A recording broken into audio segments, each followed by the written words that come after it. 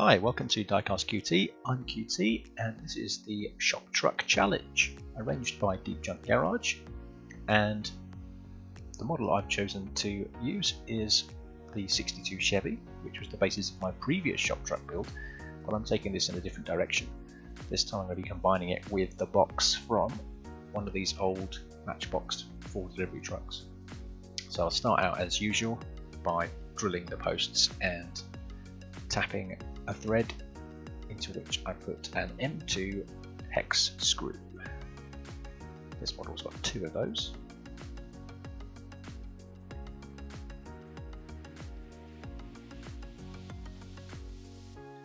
And then I'll go about measuring out the box section that I'm going to be cutting away.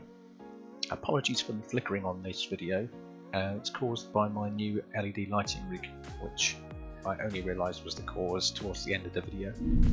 Viewer discretion is advised. Please don't be disturbed by the cutting up of an old model. I've got six of these and this is the one that's in the least restorable condition.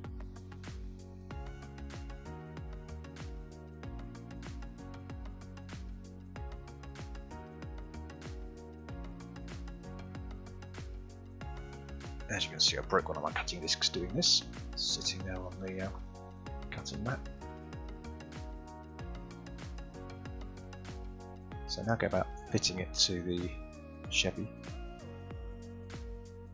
It's already reasonably good, but the uh, front needs cutting out to fit the cab. So I roughly mark it out with pencil and then go about cutting away the metal to get a better fit.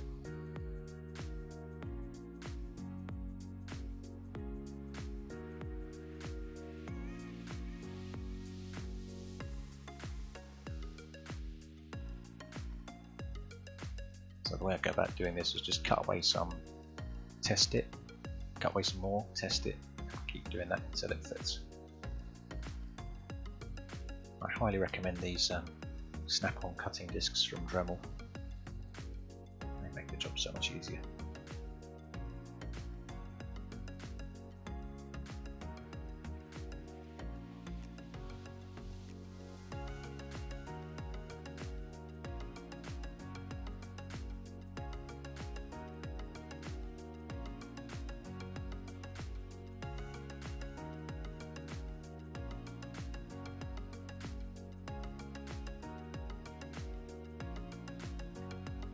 I know what you're thinking. Why the one black glove? Well, it's not because I like Michael Jackson, it's because I've been handling hot metal.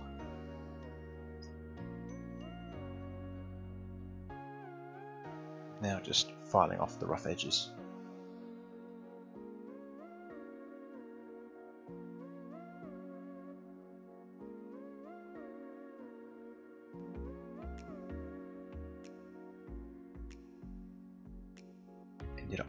Quite a lot of that front section.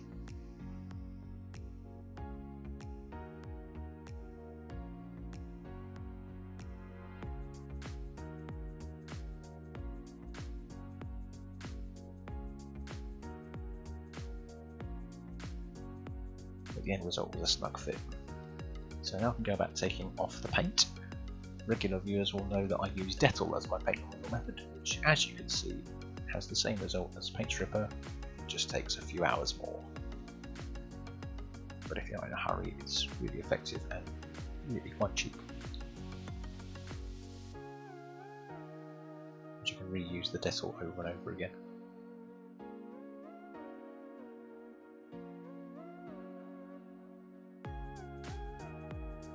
As you can see, the paint just falls off.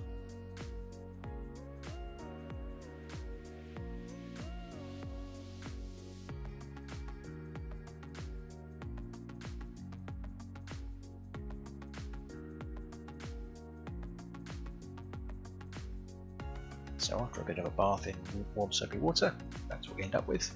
And now we use our wire brush on the Dremel to get rid of all the oxidation and even out some of the uh, bodywork.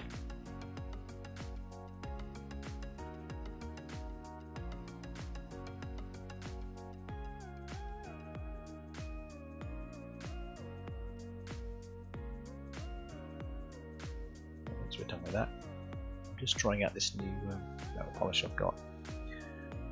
The thinking being that you know if it's shiny, it's, it looks good, you know.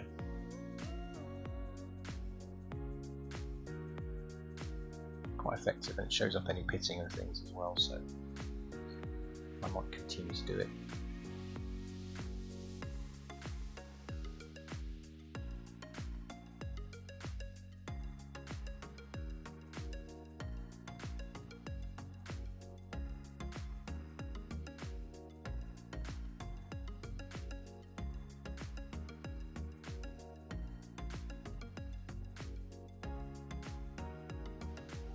After a bath in boiling hot soapy water. This is what we end up with. And next I glue that box section onto the back of the Chevy. And then mix up some Milliput to fill in some of the gaps in the bodywork.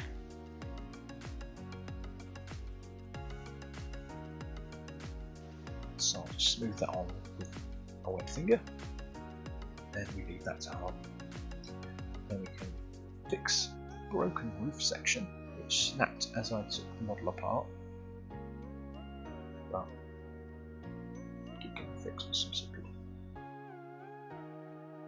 Maybe sanding it a bit afterwards so a little bit of excess doesn't matter. So now we're on the wheels. Um, the wheels were the hardest part of this entire project. Um, I had some Greenlight wheels lying around, which are a bit too small for the purposes here, so uh, I decided to stick with the original Hot Wheels ones, but I didn't like the purple because it wasn't in keeping with the colour scheme I had in mind. So I got out some of my donor wheels from another one I was working on, um, which were in keeping with the uh, colour scheme. And I'm planning on um, lifting this the same way I did with my other shop truck, because all of these um, Chevy ones are kind of slammed to the ground, and I don't really like the look so much, particularly for this kind of thing. So the thinking there is to move the wheels from their sunken position underneath the chassis to raise them back up again,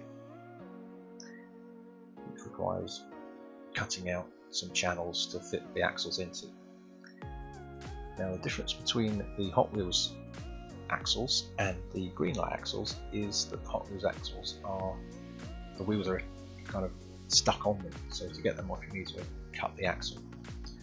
Um, and I like to use axle tubes, which is useful for the Greenlight ones because the axles are separate from the wheels on that. You just push the axle through the tube and then put the wheels on the end. Um, with these, not so simple. So I had some Milliput left over from the bodywork fixing it, as you can see, um, and thought I'd just fix them in place with those. The wheels can still spin on the axles even if the axle is stuck in place. So my plan was to just pretty much secure them in place with Milliput, um, which would have been fine. But once the Milliput had dried, I realised that the um, front wheels weren't in the right position and were getting stuck on the bodywork even after I'd shaved off some of the uh, extra plastic on the base there. Um, so I ended up getting rid of the Milliput on the front axle and replacing it with a combination of an axle tube and a replacement axle made out of a 1mm tube which I then pushed the uh, original Hot Wheels wheels onto and then dulled the ends so that they stayed in place. I didn't record that because I was having an absolute mare trying to put that together. Um, and fiddling with the camera as well was not going to be conducive to a good mood. So you can just watch me doing the Milliput first attempt.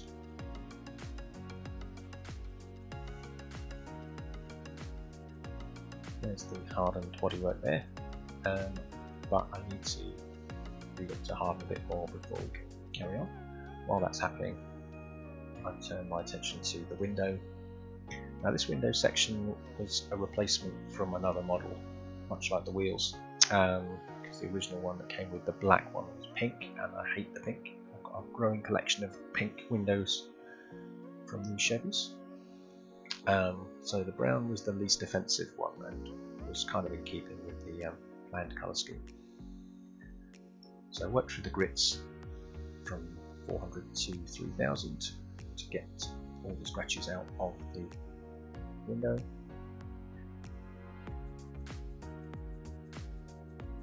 And then once we've gone through all the grits, give the usual bit into some Pledge Revive It to give it a nice shiny sheen at the end.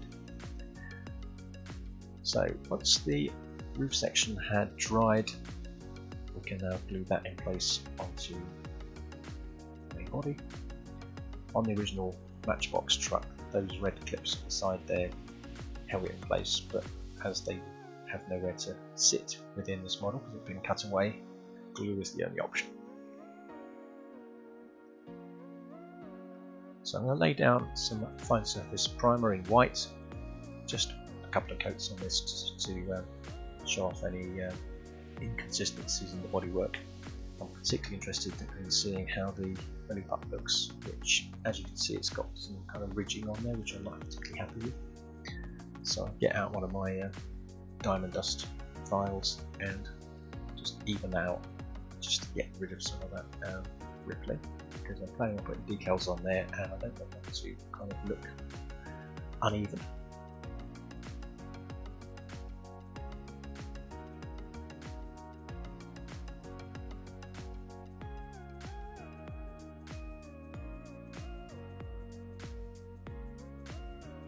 So once I've got out the uneven sides, got some uh, sandpaper even out a bit. Um, with hindsight, I probably should have used a finer grit sandpaper because the um, the lines inside are still visible through the uh, decal in the final model. Uh, but too late now.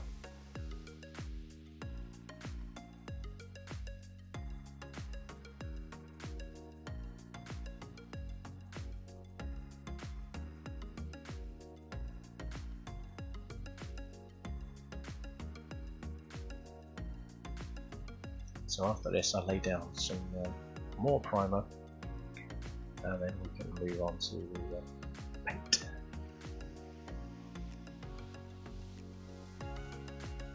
And for the paint I've decided on a two-tone. Um, so I had to mask out most of the vehicle for the first half. Paint the lower half first, then mask that out and then paint the upper half. So the half is going to be in X8 lemon yellow with the X2 white.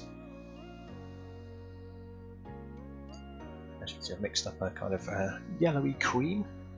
Um, I want it to pop but not too much. And I've not used my airbrush for a month because I've just moved house and set up a new workshop. Um, as such, the settings on the airbrush are all out of whack and it took me quite a while to sort of get it working again. Um, hence why it's taking forever for this paint to go on. But layer after layer it does suddenly pop at certain point.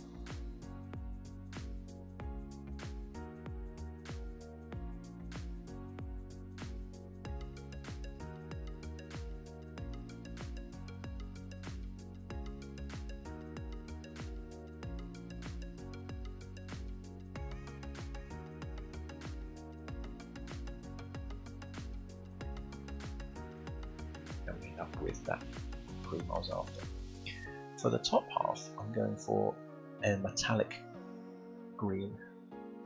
So I've got some X15 lime green and some X11 chrome silver. Mix them together. It's traditional, but with a of bling. So I masked off the bottom. I left a 1 or 2 mil overlap so that there's going to be a layer of white primer between, or a line of white primer between the green and the cream. I wasn't sure how that was going to turn out, but there's at least kind of two or three layers of prime, primer on there, so it should serve as a white stripe. So the green goes on nicely, um, and it's much nicer than I'd actually thought it was going to come out. So while that's drying, I'll work on the interior. Um, as there's only two small windows on the interior, um, there's really no need to go into a great level of detail on this. I just need to give a general impression that it's not a chrome interior. So I'll just paint it brown in there. Um, just to take the kind of shiny edge off of it.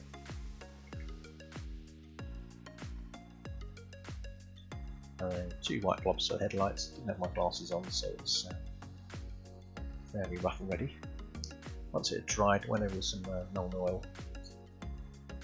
to add some depth into those kind of plastic chrome grills and bumpers and to kind of address some of the bleed from the glasses free headlight painting and then added some to the exhausts and also added some depth shading to the interior as well. I went back afterwards and touched up some of the visible silver bits with my glasses on and adds a bit of highlights in there as well. Onto decals. Um, these are all custom made decals uh, made to measure for this particular model. Put on some micro set first and then on goes the decal. I'm using transparent paper on this occasion so you can see that the green shows through where the white would have been.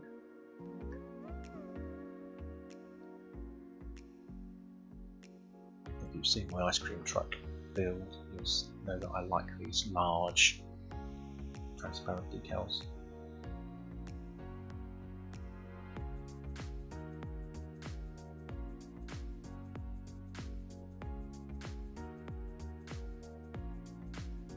Nicely. And I just recorded one of these side decals. Don't have to see them all going on. Uh, SJ's Autos. SJ is my daughter, um, so this build is dedicated to her, and she wants to play with this truck afterwards, she's more than welcome to. So once I put all the decals on, added three layers of clear coat, and we're then ready for the final reveal.